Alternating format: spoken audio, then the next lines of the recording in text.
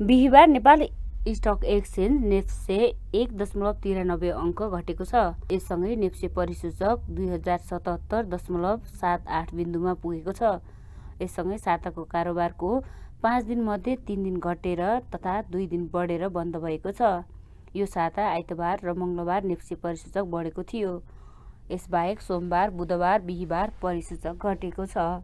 बिहिबार शून्य दशमलव शून्य नौ प्रतिशतले सूचक घट्दा एक सय एक कम्पनीको मूल्य बढेको छ।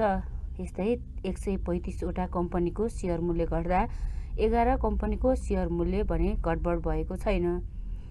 यस क्रममा दुईवटा कम्पनीको सेयर मूल्य दस प्रतिशतले बढेको छ। इमर्जिङ नेपाल र मध्य सोलु हाइड्रो पावरको सेयर मूल्य दस प्रतिशतले बढेको हो। यस्तै बुद्धभूमि नेपाल हाइड्रो पावरको सेयर मूल्य नौ दशमलव नौ आठ प्रतिशतले बढेको छ। माई खोला हाइड्रो पावरको सेयर मूल्य भने छ दशमलव चालिस प्रतिशतले घटेको छ। परिसूचक सामान्य गिरावट आउँदा चार अर्ब अडतिस करोड बयासी लाख रुपियाँ बराबरको अठासी लाख तेह्र हजार किता सेयर किनबेच भएको छ।